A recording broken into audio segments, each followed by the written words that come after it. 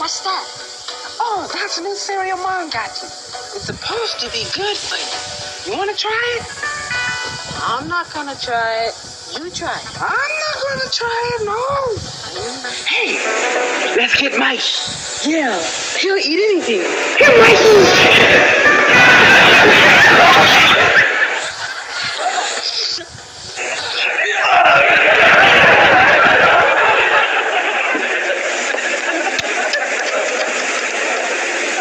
I guess Mikey didn't like it.